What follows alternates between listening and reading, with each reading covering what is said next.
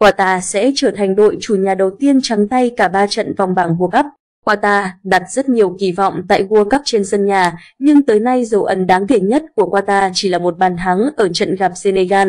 Trong trận đấu cuối cùng vòng bảng, thầy trò huấn luyện viên Felix Sanchez sẽ hướng đến việc có điểm trước Hà Lan, nhưng đó là điều không dễ dàng. Đêm ngày 29 tháng 11, đội tuyển Hà Lan sẽ đối đầu với chủ nhà Qatar trong khuôn khổ lượt đấu cuối cùng bảng A World Cup 2022. Chỉ cần không thua, cờ màu cam sẽ chắc chắn đi tiếp, nhưng họ sẽ hướng đến một trận thắng để chắc suất đầu bảng. Được đánh giá là một trong những ứng viên hàng đầu vô địch World Cup 2022, nhưng Hà Lan thi đấu chưa thực sự thuyết phục. Chiến thắng 2-0 trước Senegal trong trận mở màn có phần may mắn, trong khi họ phải dựa vào hàng thủ để ngăn cản Ecuador lội ngược dòng ở lượt trận thứ hai. Với 4 điểm sau hai trận, thầy trò huấn luyện viên Van Gaal chưa thể có tấm vé đi tiếp. Về lý thuyết, họ vẫn sẽ bị loại nếu thua đậm ở trận này, đồng thời Senegal thắng hoặc hòa Ecuador trong trận đấu cùng giờ. Nhưng đây là khả năng hầu như không thể xảy ra. Chỉ cần một kết quả hòa là đủ để lọt vào vòng knock-out, nhưng với đẳng cấp, danh tiếng và cả sức ép của ứng viên vô địch, Hà Lan hướng đến chiến thắng trước Qatar. 3 điểm ở lượt trận cuối vòng bảng sẽ là màn chạy đà hoàn hảo trước khi Hà Lan phải đụng độ với các đối thủ khó chịu ở vòng tới. Với việc tuyển Anh gần như chắc chắn sẽ giành ngôi đầu bảng B, Hà Lan cũng có động cơ rõ ràng để giành ngôi đầu bảng A nhằm tránh đối thủ mạnh này. Nhiệm vụ của huấn luyện viên Luis van Gaal khá dễ dàng khi đối thủ chỉ là một Qatar đã không còn động cơ thi đấu. Mặc dù được đánh giá cao hơn nhưng Hà Lan không được phép chủ quan trong trận đấu này.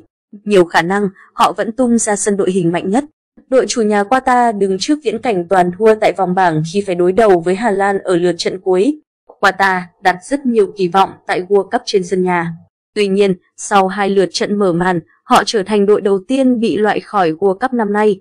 Thậm chí, Qatar là đội chủ nhà có màn trình diễn tệ nhất trong lịch sử các kỳ World Cup. Đến lúc này, dấu ấn đáng kể nhất của Qatar chỉ là một bàn thắng ở trận gặp Senegal. Qatar phải thi đấu vì màu cờ sắc áo và danh dự, nhưng trước một Hà Lan vượt trội về nhiều mặt, nhất là trình độ, kinh nghiệm và phong độ thi đấu.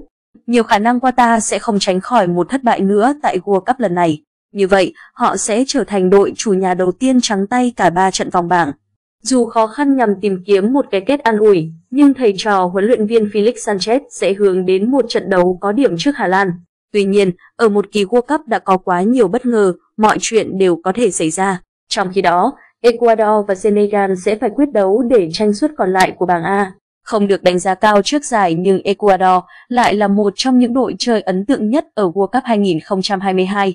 Đại diện châu Mỹ có 4 điểm sau hai lượt trận trước chủ nhà Qatar và Hà Lan. Ở trận đấu mang tính quyết định với Ecuador, họ nắm giữ ít nhiều lợi thế khi chỉ cần thêm một điểm là giành vé đi tiếp. Đây là lần thứ hai Senegal và Ecuador gặp nhau. Trước đó vào năm 2002, Senegal đã giành chiến thắng 1-0.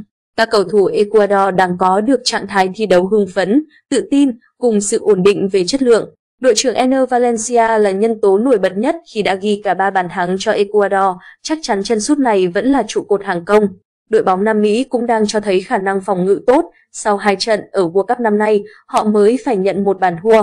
Xa hơn, 8 trận trước đó tính trên mọi đấu trường, Ecuador giữ sạch lưới tới 7 lần. Senegal cũng không hề thua kém, điều duy nhất mà đại diện châu Phi thiếu trong trận thua Hà Lan chỉ là sự may mắn. Nhưng để có vé đi tiếp, Senegal buộc phải hướng về chiến thắng trước Ecuador. Với tính chất sống còn, trận đấu này hứa hẹn sẽ vô cùng giằng co, kịch tính. Hai trận đấu lượt cuối bảng A World Cup 2022 sẽ diễn ra lúc 22 giờ ngày 29 tháng 11